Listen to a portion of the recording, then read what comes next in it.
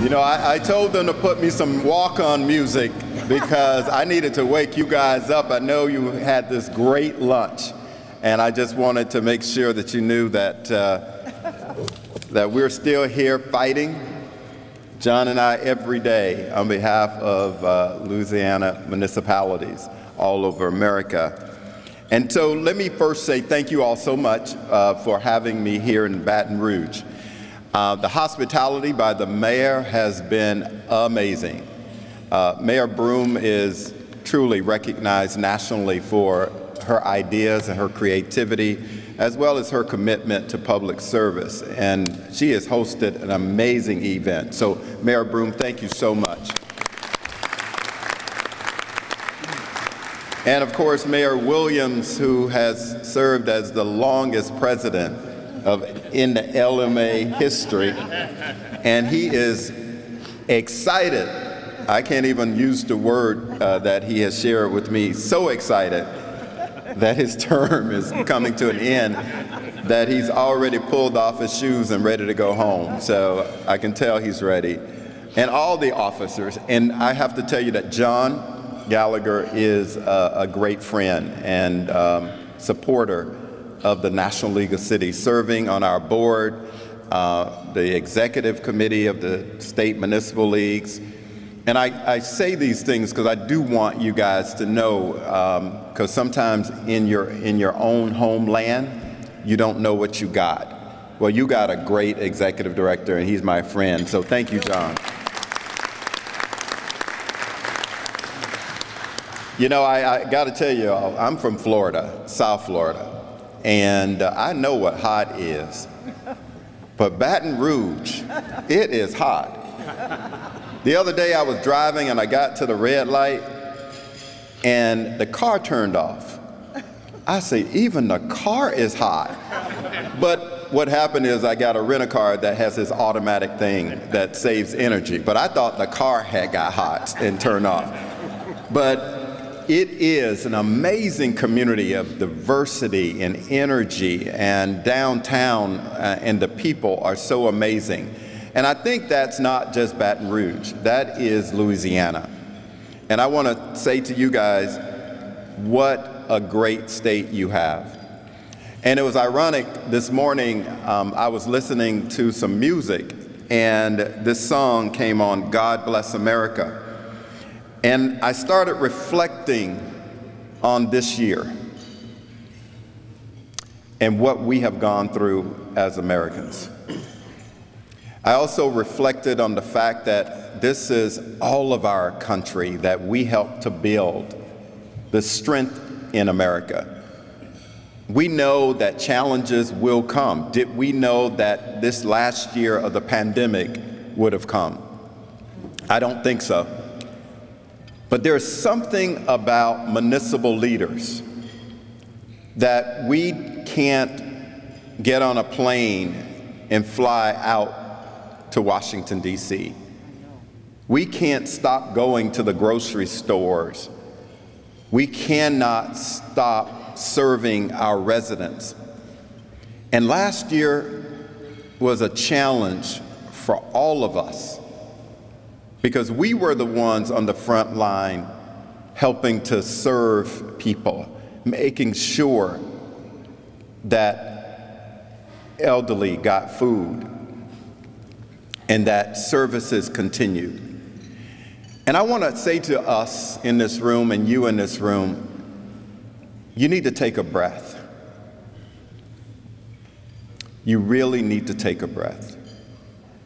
Because sometimes we won't admit that it is hard for us because people think of us as mayors and council members and commissioners, they think that we can solve all of their issues. And sometimes we, we don't even take care of our own mental health. You know, I've been seeing where, you know, hearing Michael Phelps talk about when he was swimming and he just was tired and Simone Biles that we now see someone who wants to compete, but yet the mental stress of the time has gotten to her. Yeah. That same thing is happening to a lot of municipal officials. that they are saying, I didn't sign up for this. I didn't know it was going to be this way. I thought I was just going to be the honorable mayor that walked around, looked like I ran things and didn't run nothing, but you can look like you run things. And all of a sudden, this pandemic hit. But I do want to encourage all of us in this room to take care of our own mental health, take care of our family, because we need you in the fight as we continue to represent the Louisiana municipalities. I also want to tell you that, you know, as we look at what we went through, you know, we're not alone. Um, our businesses also were stressed. Our residents were stressed. And I think it's going to take a team of people to help us get back to not normal, to move on. Because you can't do it by yourself. I remember when I was mayor, and, uh, and I grew up in a really small city. Uh, my city was 9,000 people. And we had one red light. Actually, it was a blinking light. It wasn't even a red light. And I remember when I first got elected, I was 24 years old. And uh, I used to have dinner with my mother right before the city commission meeting. We ate. I went to the commission meeting, and my mother came in the back door while we were uh, transacting business. And then I got to the point I said, public comments. Any member of the public, you have three minutes. Please state your name, address, like all of us do. And all of a sudden, I saw my mama getting up. I was like, what the hell is going on? What is she? I got a re-election in March. So she got up, she said, Mr. Mayor, my baby, members of the commission, and I went into my baby mode because I am the baby. And she got up and she started talking about the trash collection and complaining about the trash collection. and then I'm sitting there like, oh Lord, I'm not going to get reelected. Even the mayor's mama, head, headline, mama complains about trash. And I said, well, I said, Ma, I just saw you an hour ago. Why didn't she, why didn't you tell me? She said, um, Mr. Mayor, my baby, you think everything is just your responsibility. It is all of your responsibility on that dais to address this issue of trash. And I'll never forget that because, Mayor, sometimes you think it's just on you. We have got to get this concept in our mind about governance that it takes a team. And we may not always agree. But one thing about local government is that we have to model civility. And I know that's tough during this time. We cannot allow our citizens to see and experience what they see in other, at other levels of government. We have to be a team. And if we are, and we don't let technology take away that sense of connectivity, we will be much more successful as municipal leaders. I know times have changed since I was elected, but some things should never, ever change. And that is, in the words of Aretha Franklin, respect. We have to have respect for each other. And I always say the easy part was getting elected. The difficult part is governing.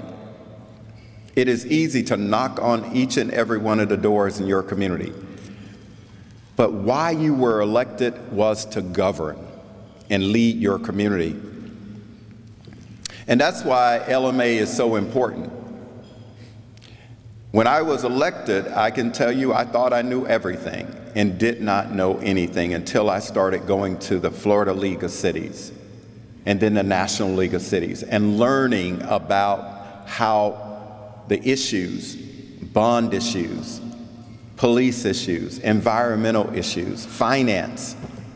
I had no clue of what setting an ad valorem tax rate was when my city manager walked to me as mayor and said, Mayor, you want to keep the, the rate, rollback rate, the ad valorem rate?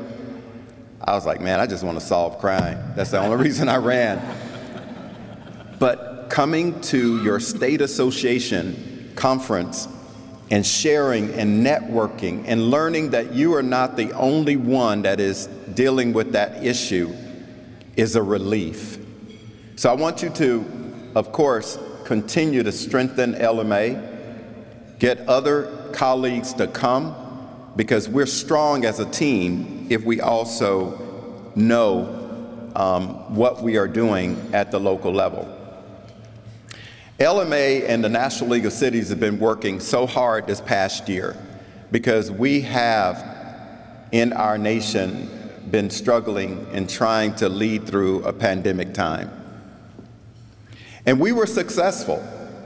We had a Cities Are Essential campaign to let Congress and let the administration know that municipalities are at the bedrock of America, and that if municipalities are not strong, our nation can't be strong.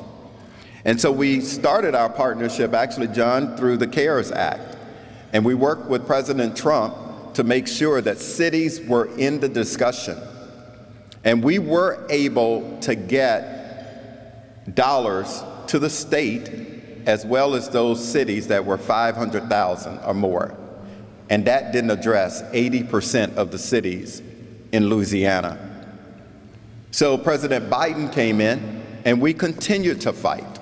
And we continued to talk about the importance of getting direct dollars to every municipality in America.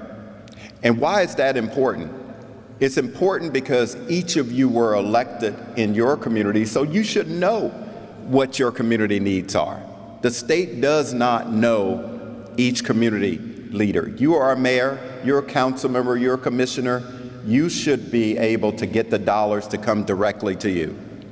So we were successful in making sure through the America Rescue Plan that each city, parish, get direct dollars to you as municipal leaders. And I appreciate that because we got $65.1 million coming to cities all around America. Now, I tell you that story, both of those stories, because I want you to understand one thing. The National League of Cities and LMA, we're not partisan.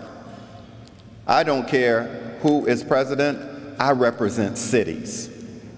I don't represent Democrats, I don't represent Republicans, uh, Republicats, and nothing else.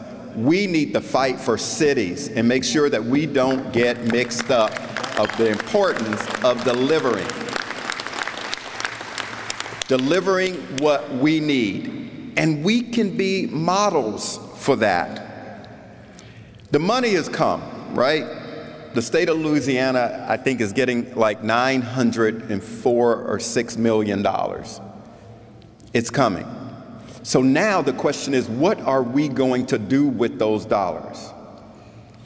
So I'd like to step back and imagine and reimagine my community if I was mayor. I'd like to reimagine the infrastructure system. I'd like to reimagine my workforce plan. I like to reimagine my homeless problem. I like to reimagine an idea of creating affordable housing programs. I like to be able to reimagine how can I give additional dollars to the frontline workers in my community. That's what the ARPA program and opportunity is for each of you. I have this thing that I say DSD, doing something different. Because if you do the same thing over and over, what do they say? You're going to get the same results.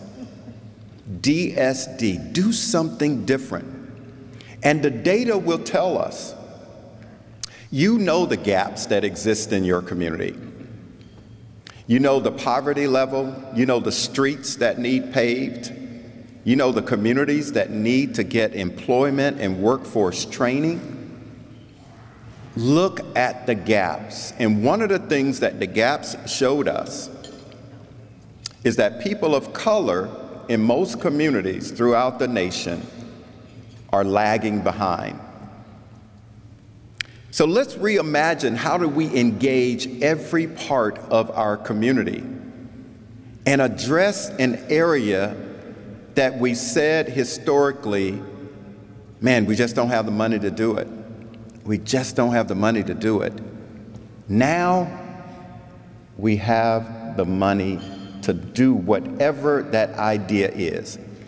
So I've spoken to some around the nation, and they've said, we really don't need the money because we don't have any problems. Let me tell you, I travel all around America. I ain't never seen a city that don't have poverty. I ain't never see, seen a city that don't need their water and wastewater system to deal with the quality. I've never seen a city that had full employment of every person that is in that community. This is the time for us. This is our opportunity. This is our moment as municipal leaders to reimagine our communities. I can tell you one thing if y'all don't want it, send it back. I don't know if Mayor Hunter is here, but I bet he would take it in St. Charles with all the challenges that he has had and the, the resilience that he has shown has just been amazing, continuing to push. So I'm asking you, continue to reimagine, recover, think about things that you didn't have dollars for. One piece of advice get a plan, fund the plan, and make sure that as those dollars come to you. John and his team, Karen, Richard, all of them, they are putting together a process to be able to help you. And so is the National League of Cities. We are putting together technical assistance because we want this process of getting direct funding to every city to be implemented again. The other thing is, I want you guys to know the power that you have. We're right now fighting for an infrastructure bill. Uh, Senator Cassidy has been working so well uh, with the National League of Cities. I must give him kudos. Again, that ain't about party, that is about delivering. Um, man, we don't got such buddies. He sometimes he texts me Happy Father's Day, Happy Mother's Day. I mean, he just texts me all the time. He texted me while I was on the dais yesterday. Um, and he is advocating uh, for infrastructure. And he's talking about the bridges and the roads throughout the state of Louisiana. We need to, as well, understand that as mayors and commissioners, city managers, and staff, we have power. And we need to make sure that we use that power. Let me just say this. Um, municipal leaders, you are what we need in America right now. We're not going to recover without you. We're not going to recover in the way that we are an inclusive, growth minded, healthy, and safe nation. You are the example that every kid looks up to. When they see the mayor, they say, That's the mayor. They don't say that's the congressman or the senator. They have no clue who they are. But they know who you are. And that's such a powerful role. But also, those congressional members know who you are, those senators know who you are. And when you see them, and I've done this so much in my new role as the executive director, uh, I'll have elected officials in my office and I've just briefed them I say, go in there and you tell them exactly how cities function and the money that they need. Now, Johnny, when he was mayor, he, he had a little backbone.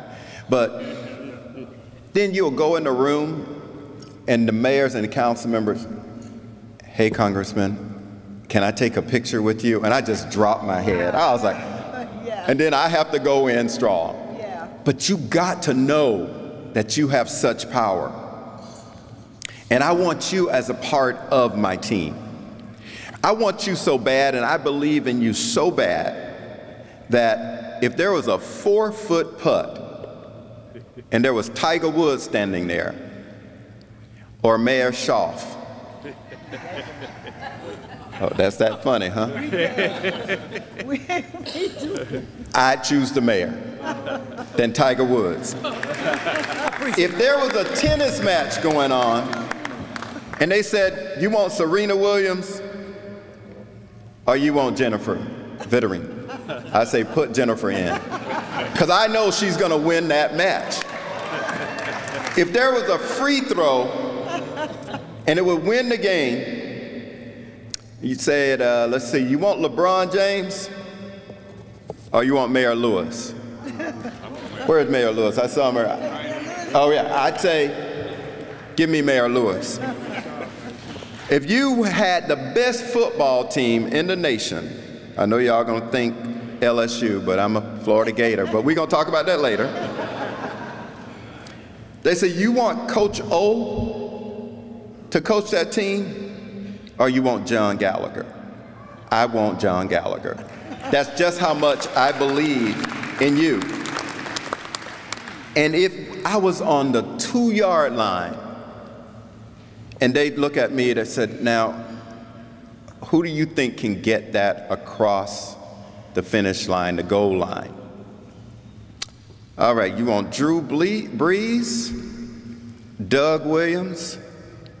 I'd say, give me Sharon Weston Broom every time.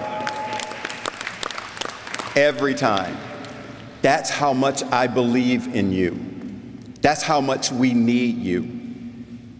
That's how much it is so important at this time that we stand up and own that we are the leaders of America, that we are the level that everybody looks to.